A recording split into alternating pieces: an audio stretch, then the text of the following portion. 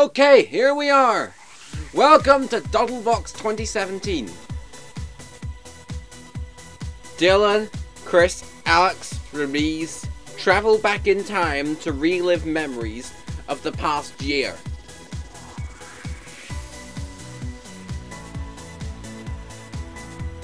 In January, Donald Trump and his hair looked better than ever when he became President of America. It means the USA.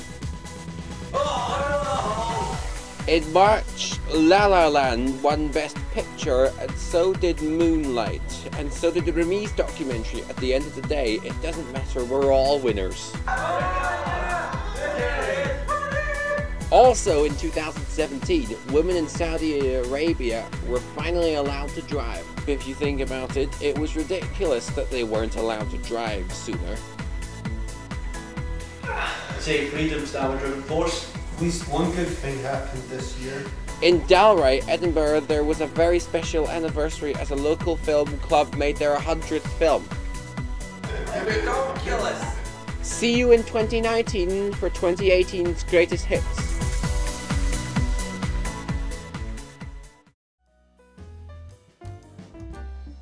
Films of 2017.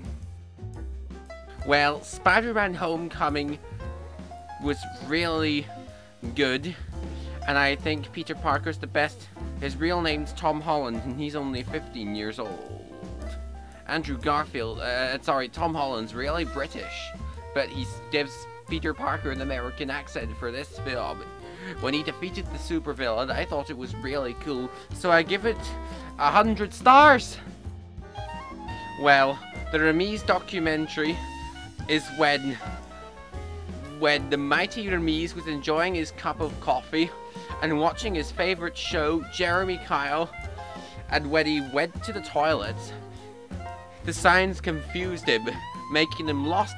He decided to go to the hairdressers, but when he got there, he saw it closed. So, he'd missed his wee wee. So when he got home, he decided to do a decoration of his own. And I thought it was really cool, so I give it a hundred stars.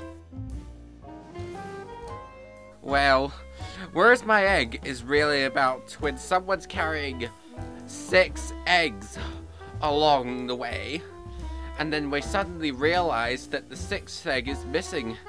And then later you have an argument with someone for taking their egg until the other person, until you realize you stood on it.